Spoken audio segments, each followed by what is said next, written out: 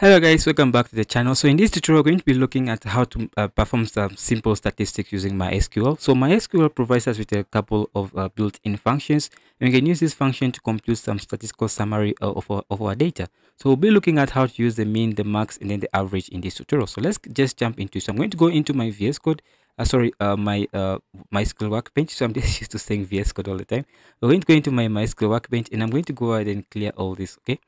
Uh, so what I want to go ahead and do is to select the maximum uh, of all the products. So we have the products table. So let me just go ahead and uh, click right here. So just go on the product table and just click this uh, icon right here.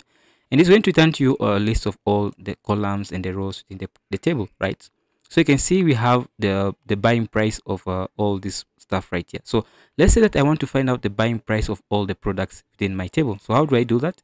And to do that i'm just going to go here and use the max okay? So sorry i want to find the maximum of uh the maximum of uh of all the buy price right? So basically that's what i want to do. I want to find the maximum of uh the buy price. So like which product is the most expensive one?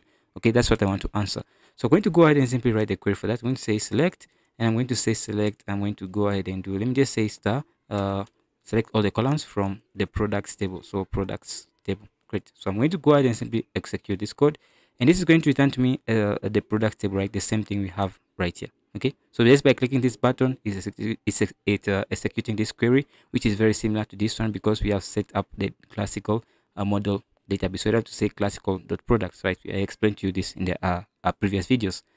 So once we have that i want to select the maximum of uh the buy price. What do i do that? I just go here and simply say the max let me use the max keyword so max and i want to select the max of the buy price. So max of the buy price just like that. So price. So once i have that done i can simply go ahead and run the code again. It's going to return to me the max of all the buy price. So it's going to go to the, uh, the buy the buy price column and look for the maximum value and that's what the max function does. And let's say i want to select the mean. So i'm going to say mean uh mean just like this. And it's going to return to me the mean of all the uh, of all the buy prices. So it's a mean and that previously was the max okay you can also find the average on average how much is a product. So you can say a average you can say avg which is going to be which means basically average. And if you run this code it's going to return to you the average of all the buy the products from the buy price. So that's basically how you can select the the the mean the max and the average. So this is just some simple uh, inbuilt function to perform statistical statistical uh, to get some statistical analysis or to perform some basically yeah statistical analysis with your data. So that's basically how you can use this to perform analysis on your data. So uh, let's go back into the slide and let's see. Okay so i have the the are some assignments for you. Again as i said the best way to learn something is to practice right? You practice you learn you practice you learn you practice and that's how you become better so in this assignment, I wanted to print the most, uh, the most, the most amount uh, for a paid product paid to the business, basically the buy price. So instead of the buy price column, I want to print for print for me the most amount paid to the business. Okay.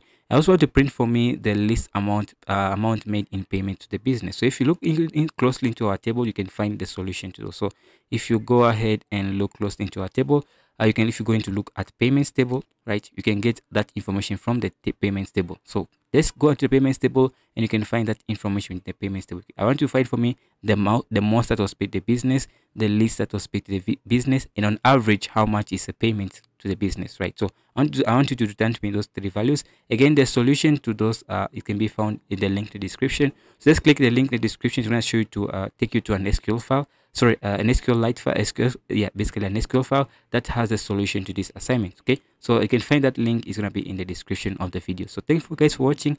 Again if you enjoyed this tutorial so far make sure you like the video you share this content to your, uh, your friends anyone who is learning SQL. And also subscribe uh, subscribe to the YouTube channel that's another best way to support me. Again if you want to donate anything the link is gonna be in the description. You can donate to, you can buy me a coffee or donate anything. So thanks for watching and see you in the next one